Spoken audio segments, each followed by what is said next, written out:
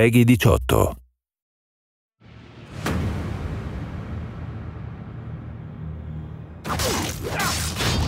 When I started this fight, I did not think it would span a lifetime. But I soon discovered it would span many more.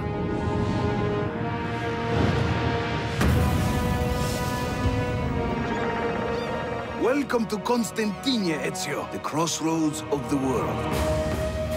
The truth, sought by the assassins who came before me, is still hidden. And their enemies still breathe.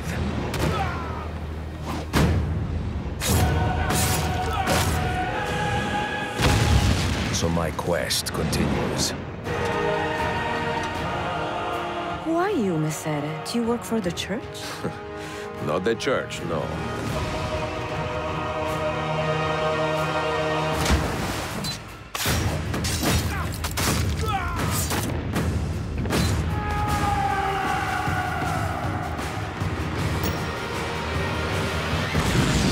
I cannot rest until all has been revealed and my mentor's secrets are laid bare. The five keys to Altair's library. Niccolo brought them here and hid them.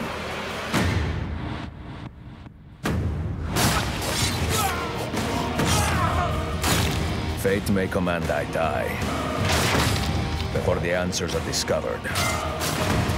But an assassin takes orders from no one. None of you leave until the assassin is dead!